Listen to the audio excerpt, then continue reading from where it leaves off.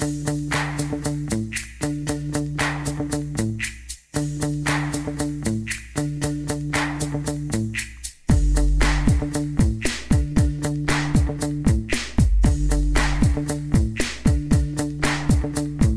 stop. Sit down and listen. Papetti's back with a brand new invention. Math grips a hold of me tightly. Study your exponents daily and nightly. Will it be hard? Yo, I'm a pro. Listen to me and my flow. When you see a product, simplify the components. Keep the same base and add your exponents. Now, what you do for a quotient, subtract the powers in one steady motion. Review. If there's numbers in front, multiply them, and that's it, you're done. Multiply, add, divide, take away. You're bound to get a hundred if you practice every day. If there was a problem, yeah, I'll resolve it. Check out the book, all students can solve it. X exponents. We're solving. X exponents.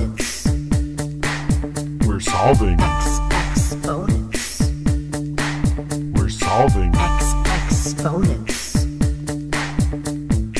Now that we've covered the first two, pay attention close because here is the third rule. Quick to the point, to the point, no blinking. Simplify this without even thinking. A power of a power, what do we do? No base between, multiply the two.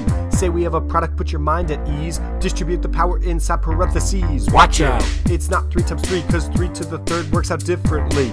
Negative powers, please don't frown. Just make it positive and drop it down. And when it is 0, you're basically done because everything to the 0 will be 1. Those are the rules, yo. So please continue to S-T-U-T-Y for the test. After exponents, what'll be next? Let us find out and go to the text. Scientific notations on the list, an easy way to show the large numbers that exist. But not only large, there's very small ones too, like the width of a hair from the past the field of view.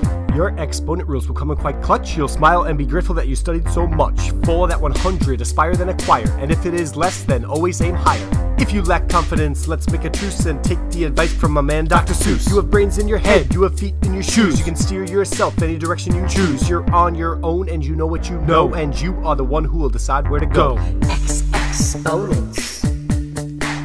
We're solving x exponents. We're solving x exponents. We're solving x exponents. It's easy. X exponents. You'll like it. X exponents. We're done now. X exponents.